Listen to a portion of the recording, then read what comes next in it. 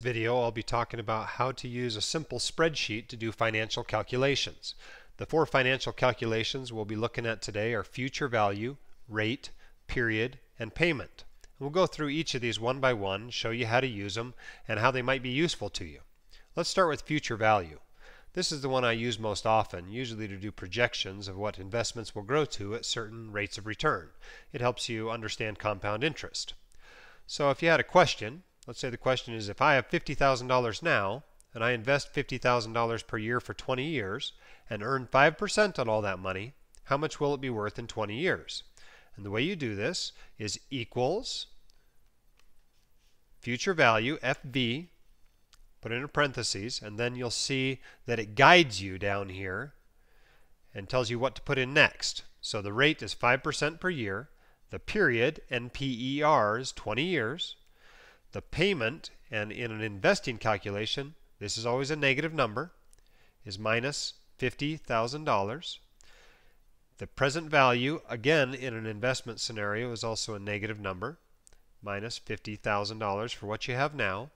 And the type is either a 1 if you put the money in at the beginning of the period, or the default 0, which is money being put in at the end of the period.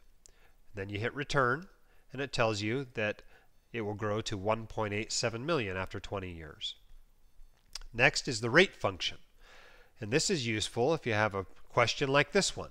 If I put $10,000 per year into a whole life policy, and after 20 years it is worth $240,000, what was my rate of return?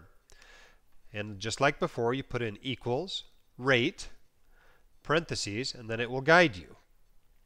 20 year period, the payment is $10,000 per year. The present value is currently zero.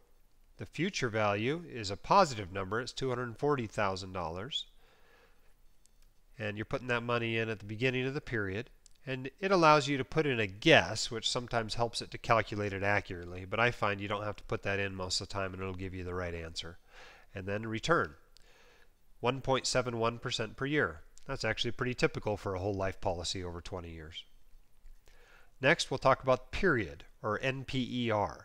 This is useful if you're trying to figure out how long it's going to take to pay off your student loans. So here's the question.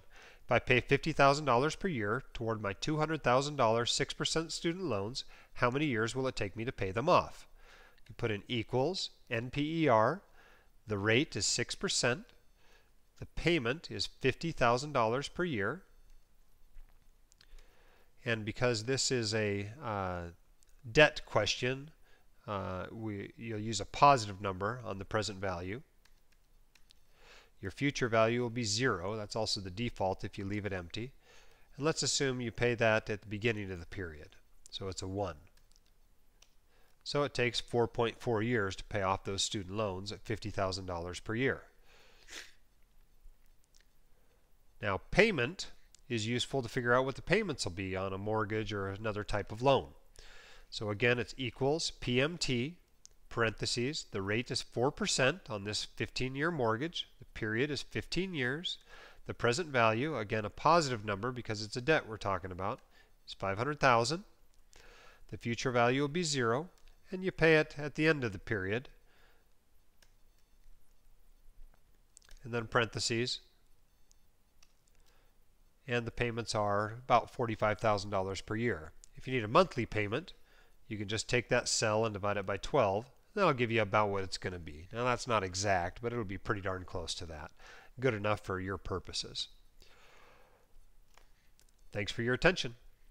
Hope that's helpful.